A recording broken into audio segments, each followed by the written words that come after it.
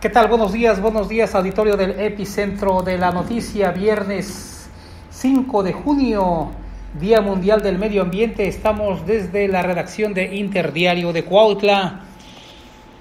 Nissan Mexicana inició el recorte de 500 trabajadores.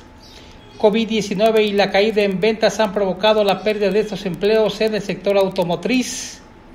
Las consecuencias económicas por la contingencia a causa del coronavirus, la baja producción y la caída en las ventas ya se sienten en la industria automotriz donde 500 trabajadores han comenzado a ser despedidos, 300 de ellos directamente de la empresa Nissan Mexicana, informó José Alfredo González González, secretario general de la Federación de Trabajadores.